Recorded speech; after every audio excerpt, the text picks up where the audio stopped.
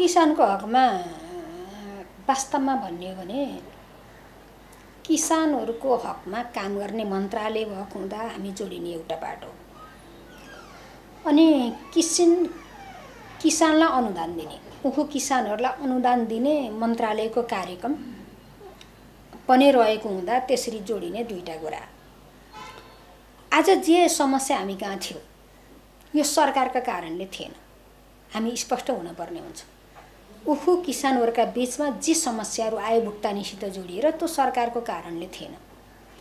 यो उद्योगीहरूको समस्या थियो। किसान र उद्योगी बिचको समस्याको कुरा थियो। उद्योगीहरूले किसानहरूले उत्पादन गरेका उखु लिएर जाने मूल्य नदिने पैसा नदिने। बिचरा मान्छे लगानी गरेर काम गर्यो। त्यसैबाट अब दैनानुदिनको गुजारा टार्न पर्नेछ। अनि धेरै पैसा खपत रहेपछि किसानहरूले धेरै दुःख पीडा भएपछि हाम्रा उत्पादन पनि घट्न थाले। उखु किसानहरूले उत्पादन पनि घट्न गएको हामीले देख्यौँ। त्यसबाट चाहिँ अब मुक्त हुनु पऱ्यो भनेर छोड्दै छोड्दै त्यो पेसा त्यो व्यवसाय छोड्दै आएको पनि हामीले देख्यौँ। त्यसैले यसलाई दीर्घकालसम्म व्यवस्थित गर्न के गर्न पर्ला भन्ने पाटो पनि हामीले सोचेका छौँ म पछि भन्छु। अहिले म आइसकेपछि हामीले अध्ययन गऱ्यौँ। अध्ययन गरिसकेपछि वास्तविक समस्या के हो भन्ने कुरा हामीले यकिन गऱ्यौँ। यकिन गरिसकेपछि म आउँदै गर्दा माइती घरमा जुलुस थियो। धर्ना थियो। लामो समयदेखि किसानहरू बस्नुभएको थियो। भोलिपल्टदेखि गृह उद्योग र कृषिसित जोडिएको बैठकहरूलाई व्यवस्थित गर्ने ढङ्गले मैले हाम्रो टिमलाई राखेर कुरा गरेर भोलिका दिनसम्म यसको समाधान हुनुपर्छ। भएन भने लिएर आउँछु। उद्योगीहरूलाई म छलफल गराउँछु। भन्नुले कडा कुरा गरिसकेपछि आएको तेस्रो दिनमा सम्झौता भयो। तेस्रो दिनमा सम्झौता भयो र सम्झौता भइसकेपछि आजसम्म पचासी प्रतिशत भुक्तानी उद्योगीहरूबाट भइसकेको छ। अनि मन्त्रालयमा पनि बाँकी रहेछ। दुई करोड पैसा मन्त्रालयले पनि दिन बाँकी रहेछ अनुदानको पैसा। त्यो पैसा पनि किसानहरूको हातमा गइसकेको छ। सिधै ऊ किसानका व्यवसायलाई दिनपर्ने जुन अनुदानको पैसा हो त्यो सम्बन्धित दर्तावाल किसानहरूको खातामा पठाउने प्रबन्ध पनि गरिएको छ अब रह्यो उद्योगीहरूबाट पाउनुपर्ने पन्ध्र प्रतिशत भुक्तानी पाउन बाँकी छ। त्यो पन्ध्र प्रतिशत भुक्तानीको निम्ति उहाँहरूका के के डकुमेन्टहरू मिलेका छैन भन्ने छ। केही केही प्राविधिक कारणले रोकिएको अब त्यो भुक्तानी पुरै क्लियर हुने ठाउँमा पुगेको छ भन्ने नै छ।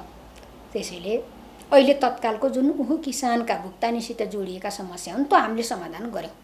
राज्यको ठाउँबाट सहजीकरण गरिदिएर व्यवसायलाई बोलाएर सहजीकरण गरेर कौलियतनामा गराएर सम्झौता गरेर सिग्नेचर गरेर कर्मसित भुक्तानी दिएर किसानहरूलाई राहत दिने काम हामीले गराएको छौँ। अब भोलिको निम्ति के हो भन्दा? भोलिको निम्ति हामीले किसानहरूलाई समस्या नहोस् भन्नको निम्ति मन्त्रालयको तर्फबाट अनिवार्य दर्ता गर्ने किसानहरूले उखु किसानहरूले दर्ता गरेर मात्रै चल दर्ता नगर्दा बेदर्तावालको पनि त समस्या हुन्छ नि। त्यसैले अनिवार्य किसानहरू दर्ता हुनुपर्ने उसु उखु किसानहरू एउटा यो आर्थिक वर्षदेखि हामीले यो प्रबन्ध गरेका छौँ। अब दोस्रो कुरा के हुन्छ भन्दा अनुदानमा बिचौलियाको मैले जुन प्रसङ्ग उठाएको छु त्यसको अन्त्य गर्नको निम्ति पनि हामीले सिधै किसानहरूको हातमा हालिदिने। एउटा किसान दर्ता गराउने दोस्रो कुरो किसानहरूको सिधै खातामा हालिदिएपछि त्यो बिचौलिया खेलेर किसान मर्कामा पर्ने स्थितिको पनि हामीले अन्त्य गर्छौँ। अब त्यसपछि के छ भन्दा उखुको उन्नत जातका बिउ जुन भारतबाट ल्याउने हो त्यो हामीले परराष्ट्र मार्फत प्रक्रिया अगाडि बढाइसकेका छौँ। त्यो किसानहरूलाई उपलब्ध गराउनको निम्ति भारतबाट ल्याउनु पऱ्यो उन्नत जातका उखुका बिउहरू त्यसको निम्ति पनि हामीले पत्रचार्ज गरेर यो प्रक्रिया अगाडि बढाइसकेका छौँ र त्यसले उखु किसानहरूलाई भोलि त्यो उखु व्यवसाय गर्नको निम्ति प्रोत्साहित पनि गर्छ अनि उन्नत जातको भएपछि उत्पादन पनि बढ्छ र किसानहरू लाभान्वित हुन्छ। र हाम्रो आवश्यकतालाई पूर्ति पनि गर्छ।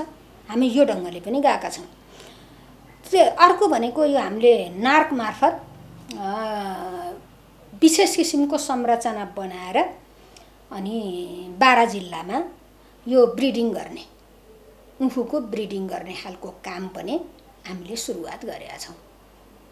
र यसरी व्यवस्थित गर्नको निम्ति हामी उखुका सन्दर्भमा उखु किसानसित जोडिएका कुराहरूलाई व्यवस्थित गर्ने प्रोत्साहित गर्ने उत्पादन बढाउने हाम्रो आवश्यकता पूर्ति गर्ने गरी जानको निम्ति यति प्रबन्ध हामीले गरेका छौँ।